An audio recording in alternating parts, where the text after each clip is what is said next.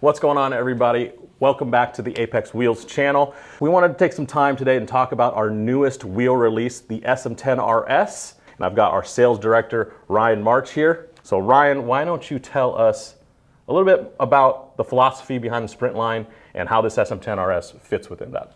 Yeah, for sure. This wheel is joining our existing VS5RS and EC7RS forged wheels. And uh, the Sprint line is really home of our lightest weight wheels. Uh, we really want every lineup that we have to have a purpose. Cool. So how does it compare to the you know VS5RS and yeah. EC7RS? Certainly. Say? The SM10RS is stiffer than our VS5RS, extremely popular wheel design that we have right now. Mm-hmm. Um, and it's essentially matching its weight. And in many places, the SM10RS has actually taken the, uh, the top uh, spot of being the lightest wheel yeah. um, for certain applications. In certain fitments, right? Correct, yeah. yeah.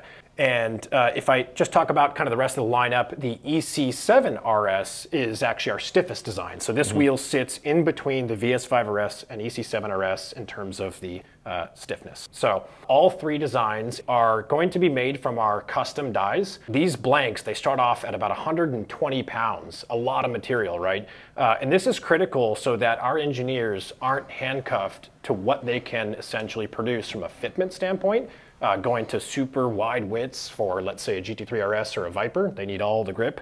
Um, it affects things like brake clearance uh, for spoke design. Um, these blanks also allow us to get super deep with our spokes and very thin. Uh, that allows our engineers to really get that like you know strength to weight ratio right where they want it. You know, a lot of companies are using third-party blanks that really are meant for a, a aesthetic street wheel. Uh, it is going to really, again, uh, cut you off the knees in terms of what you can do with your forged wheel design.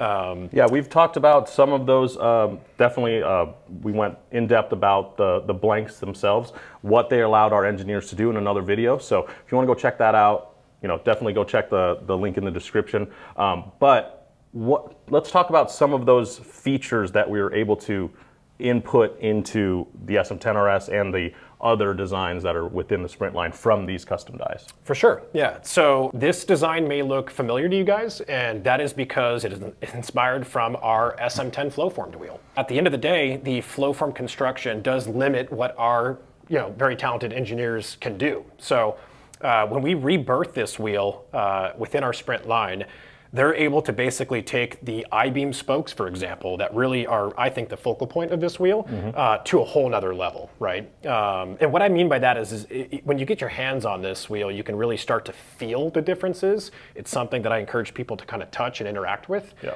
Um, but the level of side milling here is, is pretty aggressive. It's, it's pretty extreme, uh, both in width and in depth. One thing to note is in regards to an I-beam type spoke. You see this often advertised, I think, with other wheel designs, um, but you have to kind of look at how it was achieved. Sometimes they're actually adding material, right, to create that artificial I-beam. Uh, they're not really actually scalloping material away, reducing, of course, the weight uh, in the right places. And uh, this wheel really delivers on that front. Um, beyond the spokes in terms of uh, the scalloping, they have also, uh, the engineers, have maximized brake clearance in a big way. So, you know, we've done our case studies on Porsche, Corvette, BMW, uh, you name it in terms of carbon brake options and aftermarket brake options.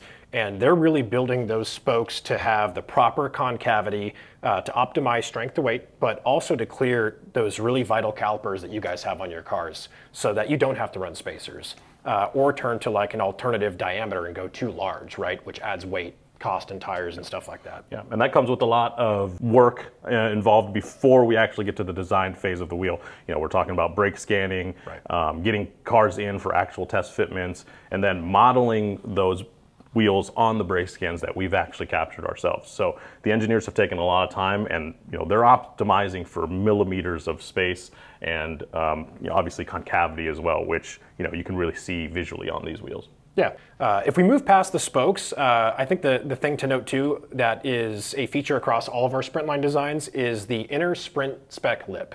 Um, this is a, a, proprietary lip design that we came up with. It is something that really a lot of individuals, uh, when they're shopping for wheels, simply don't pay attention to, right? It's not talked about a lot. But if you think about just the genetic makeup of a wheel, you don't have any spokes on the backside, right? It's an unsupported location. Uh, think about when you're hopping a berm, you know, for us, it, it might be bus stop at Buttonwillow or mm-hmm. turn six on uh, east of Thunderhill.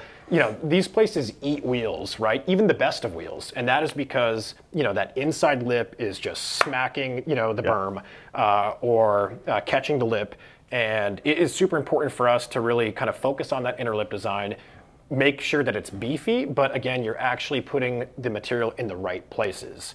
Um, anybody can glob a ton of material on, and that's just going to increase the weight of the wheel. Uh, so you have to be very strategic, you know, in what that looks like. Yeah, and there's some other features uh, that I want to talk about uh, that are notable. Uh, okay. It's going to be our paintless knurled bead on the inner barrel.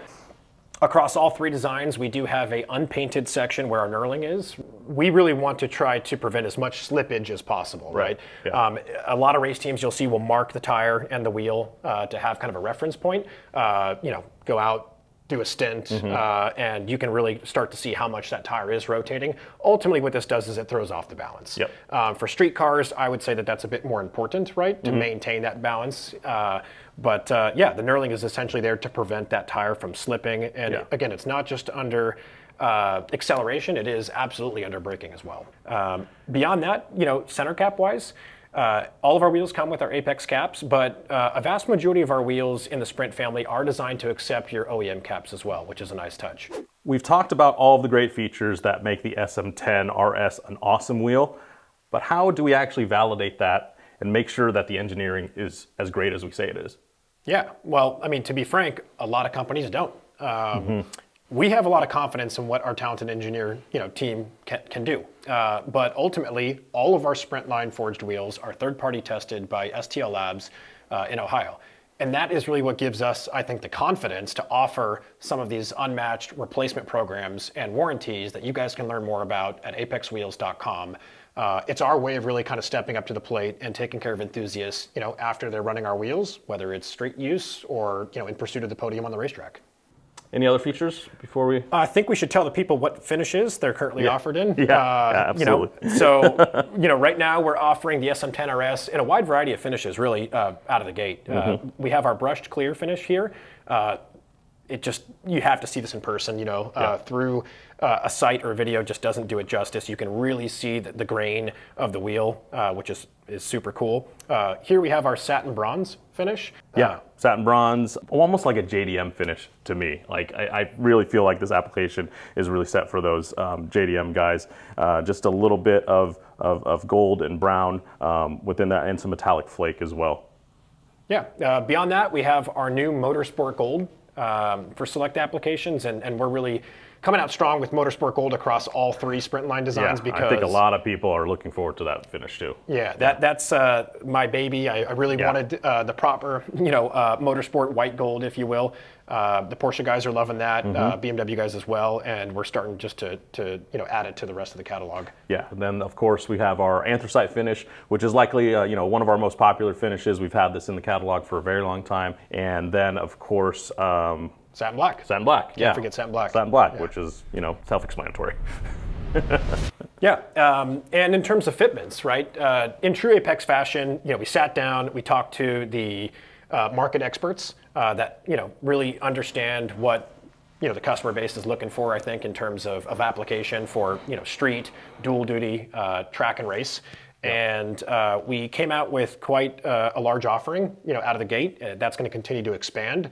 We've got stuff for BMW, both in 5x120 and 5x112, uh, Porsche, Corvette, Camaro, Mustang, GR Supra, GR Supra, GR Corolla. Correct. Yeah, yeah. the list just kind of goes on. Uh, if you guys want to check out those fitments specifically to see if we have a solution for you, definitely jump over to our website, apexwheels.com. You can take a look at the finishes, and you're going to see a, a, big gallery too of images on car. Yep. Hopefully that'll inspire you guys, you know, in terms of what finish looks good on your car. And uh, if you guys want to see a fitment, you know, uh, come to fruition that we're currently not offering, I really encourage you guys to, you know, comment below, reach out to us. Uh, the enthusiast community really drives what we do, honestly. Yep. So uh, we're all ears, and uh, we look forward to seeing SM10 RSs you know, on uh, racetracks near us. Yeah, definitely.